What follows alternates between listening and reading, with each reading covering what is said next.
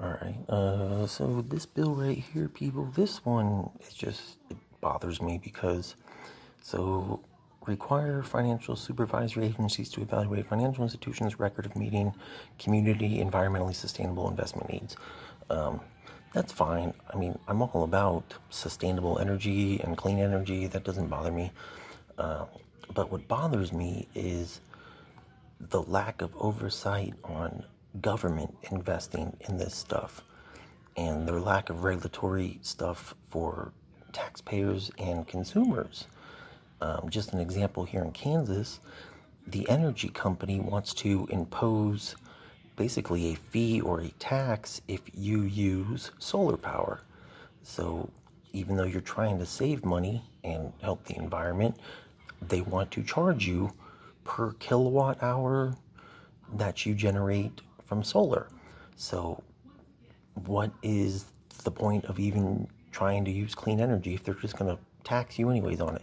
But so this though, why it bothers me is uh, it made me think of the Obama thing with the, solar power company, and I just read that this is an old article, so um, Trump admin recovers 200 million from the Obama era solar thing. So they got 200 million back out of 737, so just under a quarter of it. That's not a good ROE, return on investment. So, and I'm not trying to like pick on Obama, but it just happened under him and it was his idea. But what bothers me is so Tonopah and, and Tonopah's in Nevada too. I've been there. That fucking desolate ass fucking town. So, uh, where was it? So it, it talks about the loan programs because it was a federal loan, blah blah blah. But apparently, um, the Tonopah solar loan was in fact issued just weeks after Solyndra filed for bankruptcy. Solyndra was the solar company that also Obama gave money to. So the fact that one solar company went bankrupt and then they issued more money for another one without doing research into why this one failed kind of bothers me. And I just think there should be more oversight on their own fucking money.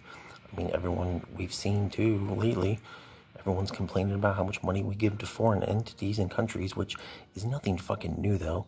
I don't know why everyone is so fucking upset like it's brand new fucking news.